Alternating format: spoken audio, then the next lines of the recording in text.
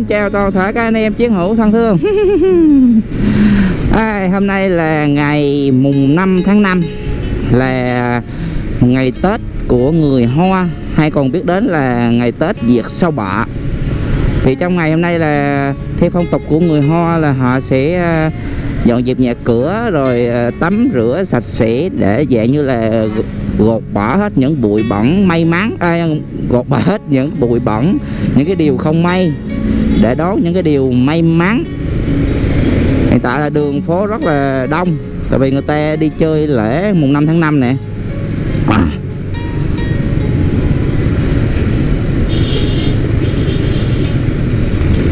thì cũng nhân ngày hôm nay thì mình à, xin à, chúc cho các bạn à, người Hoa mà có đang theo dõi kênh của mình cũng như là các à, anh chị em chiến hữu có một à, ngày à, chơi lễ vui vẻ, ấm áp bên gia đình những người thân, bạn bè.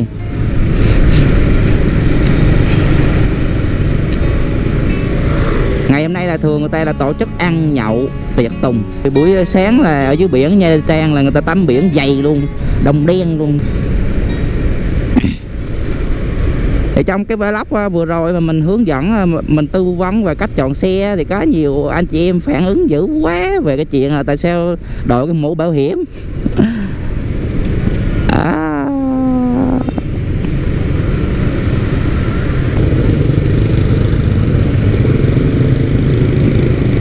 thì tại vì cái mũ của mình là mình sẽ thiết kế cái đường dây mic gắm vào để thu âm rồi cho nên là không thể nào mà gỡ ra được. Gỡ ra là phải đi dây đi đầu lại mệt. Cho nên đội mũ đó quay luôn.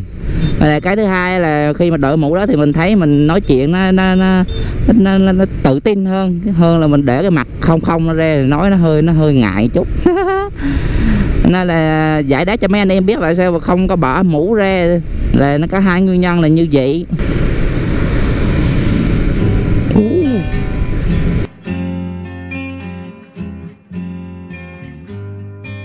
Đây đi chơi đông rồi ta.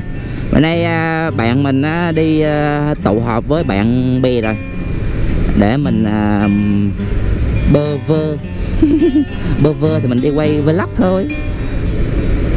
À hồi nãy tập thể dục gì tính là tắm sớm rồi đi ăn luôn mà ngồi coi mấy cái clip của mấy cái anh phân khối lớn mà đi tour Trời, chạy ghê thiệt ấy chạy quá ghê luôn mấy clip của mấy chiếc ờ, BMW 1002 ờ, á. À, cái gì mấy cái chiếc BMW 1000 á. Mấy chiếc mà gọi là cái mặt biển á chạy tua ác thiệt. Chạy ghê quá nhìn thấy sợ. Đó cho nên là mấy anh chị em thấy không? Đối với những bạn mà chơi mô tô phân khối lớn hay là mới chơi mô tô phân khối nhỏ gì đó thì cái việc cái tay lái của các bạn là mới nên là việc đi theo những cái tour những cái đòn như vậy là nó rất là nguy hiểm. Khi mình chạy không lại mình cứ rướng rướng rướng theo là nó rất dễ bị tai nạn. Hồi giờ mình thấy là những cái clip trên youtube mà về các ờ, bèo tour là toàn thấy đi tốc độ, tốc độ thần tốc không à. Xe phân khối nhỏ thì đóng ờ, tám chín chục phân khối lớn thì có ờ, trăm rưỡi đến hai xị. Đó cho nên là những cái bạn tay lái yếu yếu mà mới mua xe rồi thì tốt nhất là đừng có đi.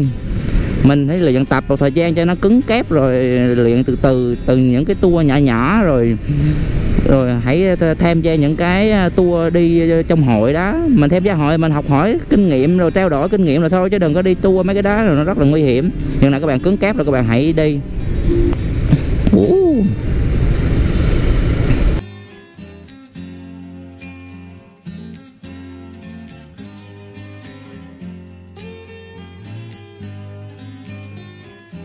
Mấy clip đi tour của mấy anh phân khối lớn rồi đó hay là những cái hội như Exciter, Winner rồi đó, chạy ép, chạy gốm tổ mẹ thì sẵn à, nói về cái vấn đề tư vấn à, xe cho những cái bạn mới chơi á thì à, có một cái vấn đề mà thường thường là đa số các bạn hay chú ý đặc biệt vào cái vấn đề đó là cái chuyện mà về cái bô. Thì thường mình thấy những cái xe mua về thường mấy anh chị em là hay, hay tìm cách là tạo một cái tiếng chạy nó nó nó, nó uy lực.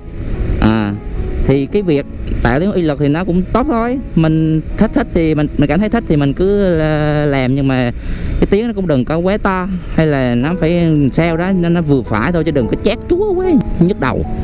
Thì, ờ, thì vẫn nói vấn đề này thì mình có một cái điều mà muốn ờ, chia sẻ với các bạn. Đó là việc nên hay không nên mà sử dụng bô móc bô móc á là nghĩa là từ cái bô rin á, mà các bạn chế biến lại để cho nó ra cái cái ờ, tiếng nó to hơn. Tại vì cái bô rin là nguyên bản nó rất là êm, nó không có nghe tiếng đâu. Đó là người ta gọi là bô móc. Thì mục đích của cái việc móc bô thì nó có cái tác dụng như thế nào? Thứ nhất á, là cho cái tiếng nổ nó trầm ấm nó uy lực. Cái thứ hai là để cho nó thoáng nó thoáng hơi. Thoáng hơi thì đề be đồ nó sẽ nhanh nhưng mà bù lại thì cái nước hậu nó sẽ bị tục thì tùy theo cái người thợ móc mà có thể nước hậu nó sẽ tục ít hay là tục nhiều. Nhưng mà nhìn chung là nó sẽ bị tục chứ nó không có giữ nguyên như bô rin đâu. Nhưng mà được là cái cái nước nước đề thì nó sẽ bốc hơn là cái bô rin tại vì nó thoáng hơi đề be cũng ép lắm thì cái việc móc bô sử, sử dụng bô móc á à, từ cái cái bô rin á thì có nên hay không? Có nên đi móc móc bô hay không?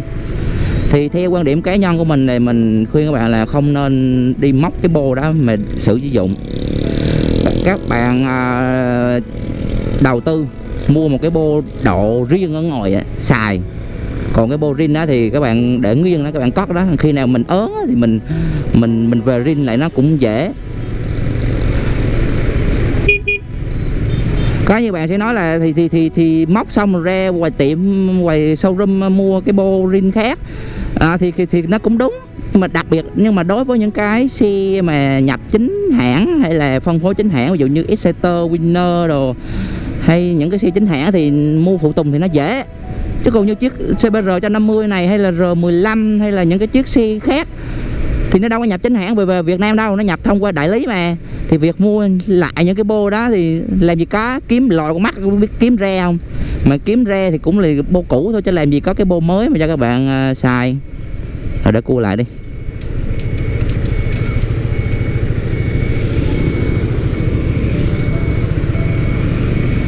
Nên là các bạn mua xe về thì các bạn nếu mà muốn có tiếng nổ nó uy lực thì đừng tốt nhất đừng có móc đừng có móc cái bô rin của mình mình để để dành á. Mình đầu tư mình mua một cái bô độ riêng ở ngoài về chơi. Thì bô giờ nó cũng rẻ ờm ai kêu mua mấy cái đồ hàng riêu hàng chính hãng chỉ cho, cho nó mắc mình mua hàng dựng thôi hàng hàng hàng dựng là cái hàng mà thường thường là xuất xứ là ở Thái Lan. Thái Lan Mã Lai. Là những cái lò độ xe bên đó nó copy những cái mẫu mã của những cái hãng bô lớn đó, nó về nó làm lại với cái những cái chất liệu cũng tốt chất liệu tốt. Giá cả nó sẽ rẻ hơn phân nữa nhưng mà chất lượng thì nó cũng rất là ok.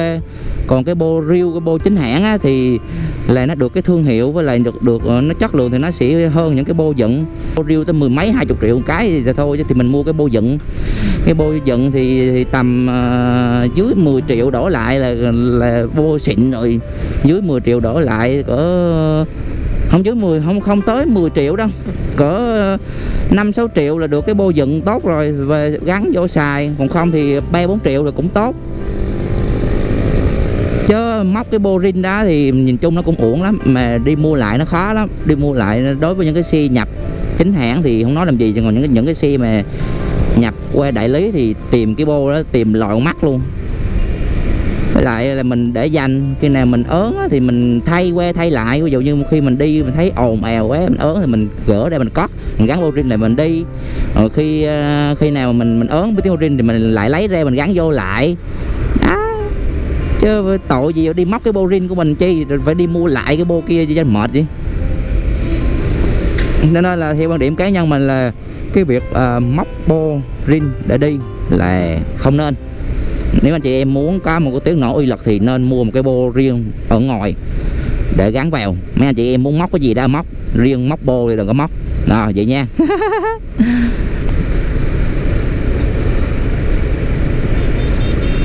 thì sẵn nói cái chuyện móc bô thì cũng nói thêm. Móc bô á, là người ta sẽ cái bô rin á là người ta sẽ cắt cái nắp bô cắt cái nắp ở cái lon bô á, là cái cái mà cái cuối cùng của cái ống bô á là nó có một cái cái nắp chụp. Mình ta sẽ cắt cái phần đó ra xong người ta sẽ môi ở, ở trong đó là nó có những cái vách ngăn những cái ống. Đó, người ta sẽ môi người ta môi ờ, theo cái sở thích của cái người móc á, là môi ít hay môi nhiều.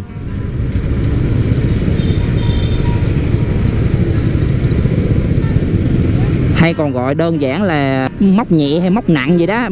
Móc nhẹ là thường những cái xe mà cũng rin thôi, xe xe rin hoặc là xe lên những cái cái cái bài nó nhẹ nhẹ. Còn những cái bô mà bô móc nặng là những thường những cái xe mà nó độ khủng khiếp, những cái xe cọp, những cái xe đua rồi nó để đi máy, nó để lên lên trái rồi tùm lum tà le thì nó mới móc móc nặng. Đó thì người ta sẽ thì ờ, lấy bớt những cái vách ngăn, những cái ống ở trong đá ra, rồi lấy luôn những cái tổ ong ở trong đá luôn. Người ta sẽ ờ, ờ, quấn bông thủy thủy tinh vào trong cái cái lông bô đó để cho cái tiếng nổ cho nó ấm. Rồi người ta đậy lại, người ta hàng người ta hàng lại, là ra một cái bô móc. Thì nói chung là mình thì theo cái tư tưởng, cái quan niệm của mình là đồ rin tốt nhất là đừng có đụng vào. Muốn chơi cái gì mua cái mua cái đồ ở ngoài chơi, còn cái đồ rin là cái để cất đó khi nào cần thì thì thì, thì gắn vô lại chứ khi khi ngá vậy thôi chứ khi còn là kiếm không re chứ không có giỡn đâu.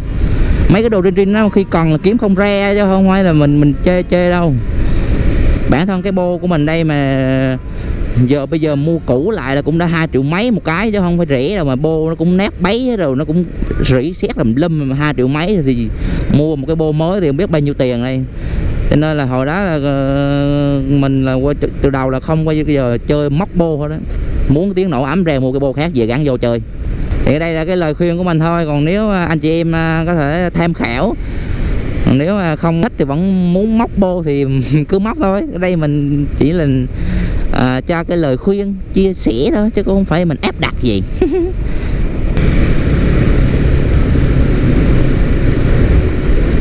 nay ta chơi, đi chơi lễ đông ghê á.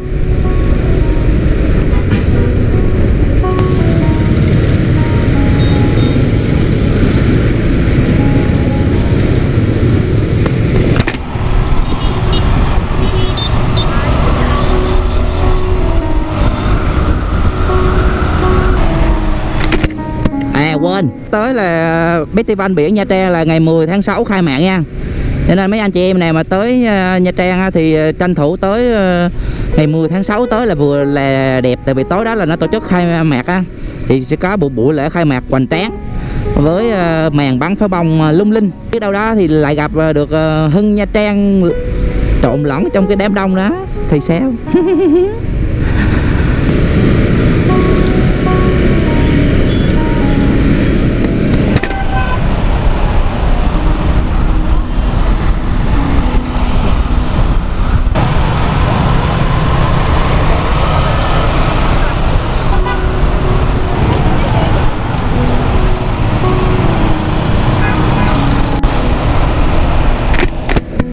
nay dừng ở đây thôi. Xin cảm ơn các anh chị em đã đồng hành với mình trong suốt thời gian nãy giờ. Xin cảm ơn, xin chào và hẹn gặp lại.